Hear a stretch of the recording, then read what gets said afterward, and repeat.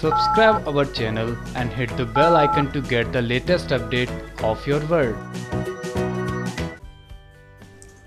Show, Yeh Rishta Kya कहलाता है? का अपकमिंग ट्रैक में आपको देखने को मिलने वाला है बहुत बड़ा ड्रामा क्योंकि कार्तिक होने वाला है अपने ही बेटे कायरव से बेहद नाराज़। पर क्यों?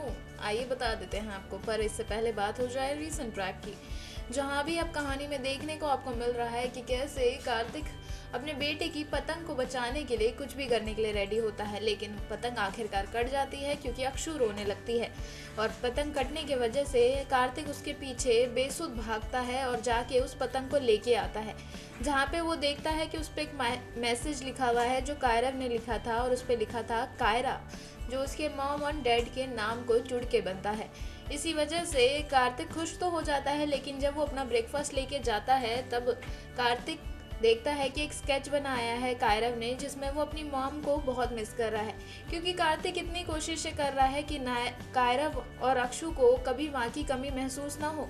पर फिर भी कार्तिक इस चीज़ से नाकाम हो रहा है और इसी वजह से कार्तिक गुस्सा हो जाएगा और कायरव पता नहीं क्यों अपने पिता से इतना डरने लगा है। इसी वजह से अब कहानी में आने वाला है एक बड़ा ट्विस्ट तो अब कौन से नए ट्विस्ट की तैयारी कर रहे हैं शो मेकर्स इसकी अपडेट हम आपको देंगे जल्द ही। तो बने रहिए हमारे साथ और साथ ही साथ। सब्सक्राइब ज़रूर कर लीजिए हमारा channel